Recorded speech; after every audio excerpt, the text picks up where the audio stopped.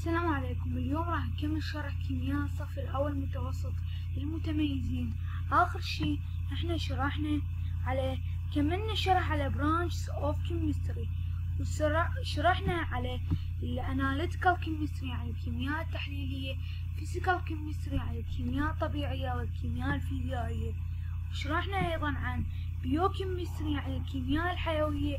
وشرحنا عن هي هذين الحد البيوكيمستري شرحنا اليوم راح نشرح عن industrial chemistry عن theoretical chemistry أو computational chemistry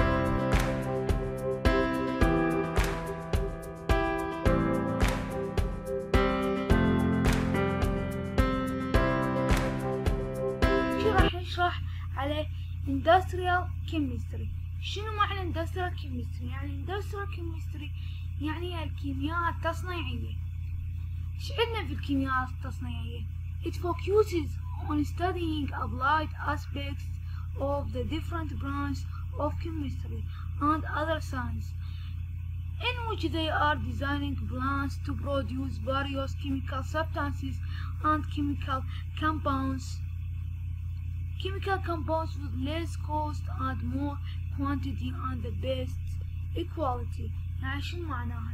إنها تركز على الدراسة ظاهر المظاهر العملية of the different branches من مختلف الفروع للكيمياء. وغيرها من العلوم الأخرى هي الذي تهتم بتصميم النباتات من أجل إنتاج أكبر كمية من المواد الكيميائية والمركبات الكيميائية مع مع سعر رخيص وأيضا مع سعر رخيص وأيضا من أجل كمية أكبر ومن أجل جودة أكبر.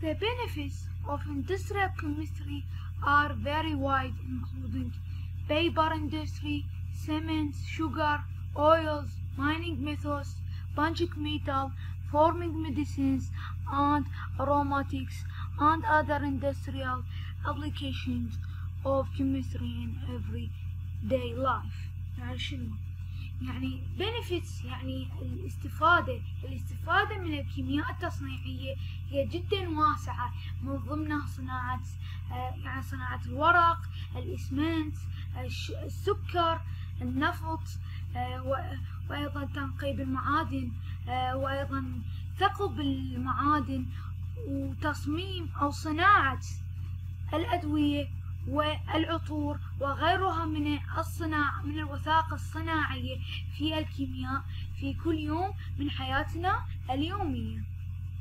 هسه كملنا الكيمياء التصنيعية أو الكيمياء الصناعية؟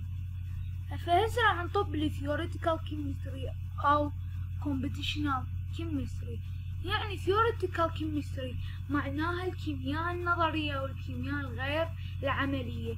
computational chemistry يعني الكيمياء الحسابية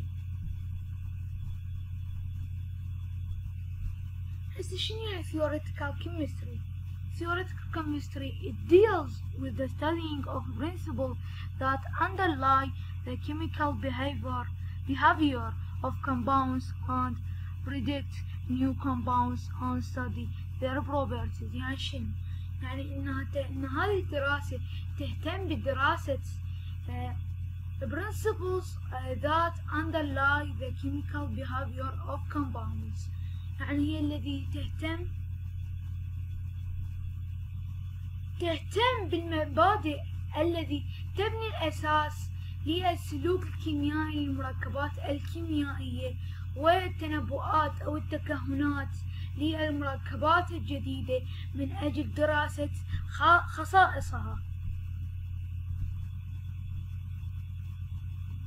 and also put modern theories that fit with the theoretical assumptions developed by chemists يعني وهي أيضا تضع النظريات الجديدة الملائمة مع يعني النظريات الافتراضية التي طورت بواسطة الكيمياء.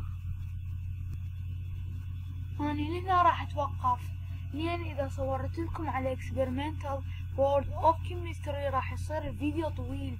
وأنا experimental world of chemistry ما أقدر أجزئه لأن هو موضوع واحد.